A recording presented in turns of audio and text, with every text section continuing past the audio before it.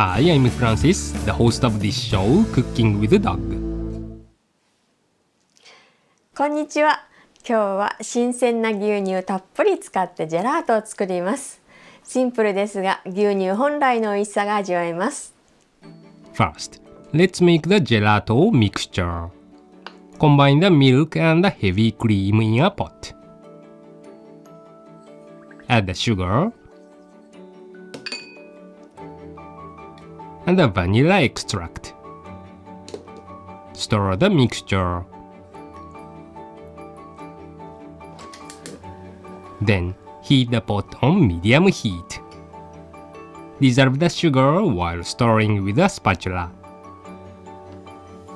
When small bubbles form around the edges of the pot, turn off the burner. Float a container on ice water and pour the mixture into it.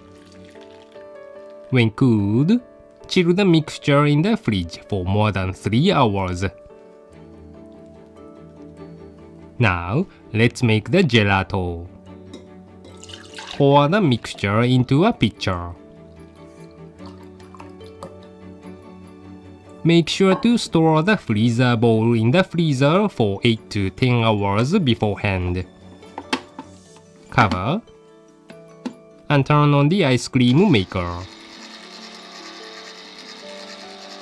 Then immediately pour in the gelato mixture. Allow the mixing paddle to turn for about 20 minutes.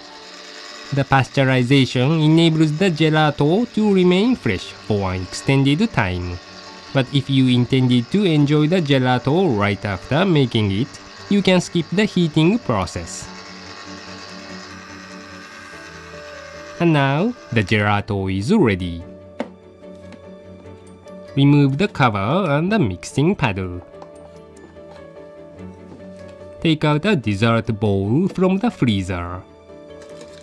Dampen an ice cream scoop and make the gelato into balls. Place them into the bowl.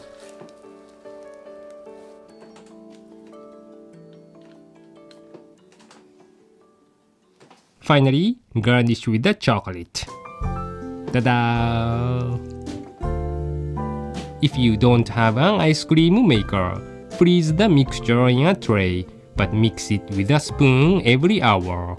Repeat the process 3 to 4 times, and you'll have a delicious gelato as well. 添加物の一切入ってない手作りのミルクジェラート美味しいです。